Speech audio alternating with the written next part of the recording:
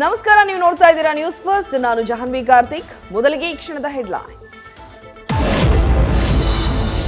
ಗುತ್ತಿಗೆದಾರ ಸಂತೋಷ್ ಆತ್ಮಹತ್ಯೆ ಪ್ರಕರಣಕ್ಕೆ ಹೊಸ ಟ್ವಿಸ್ಟ್ ನೂರ ಎಂಟು ಕಾಮಗಾರಿಗೆ ಅನುಮೋದನೆ ನೀಡಿದ್ದ ಪ್ರತಿಗಳು ನ್ಯೂಸ್ ಫಸ್ಟ್ಗೆ ಲಭ್ಯ. ಕಾಮಗಾರಿಗೆ ಅನುಮೋದನೆ ನೀಡಿಲ್ಲವೆಂದು ವಾದಿಸಿರೋ ಸರ್ಕಾರ.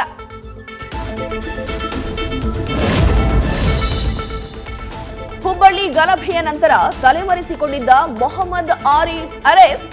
ಪೊಲೀಸರ ಜೊತೆ ವಾಗ್ವಾದ ಮಾಡಿ ಎಸ್ಕೇಪ್ ಆಗಿದ್ದ ಮಾಸ್ಟರ್ ಮೈಂಡ್. ಗಲಭೆಯಲ್ಲಿ ಆರೀಫ್ ಪಾತ್ರದ ಕುರಿತು ವಿಚಾರಣೆ.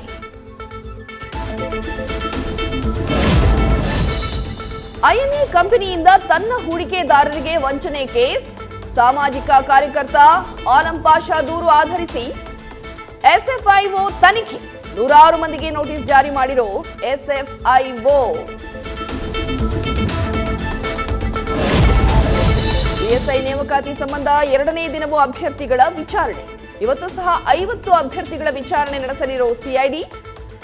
ಕಾರ್ಬನ್ ಶೀಟ್ ಜೊತೆ ವಿಚಾರಣೆಗೆ ಬಂದ ಅಭ್ಯರ್ಥಿಗಳು.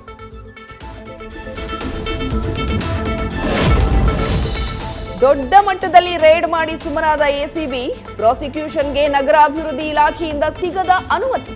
ಭ್ರಷ್ಟರ ವಿರುದ್ಧ ಕ್ರಮ ಕೈಗೊಳ್ಳಲಾಗದೆ ಎಸಿಬಿ ಫುಲ್ ಸೈಲೆಂಟ್.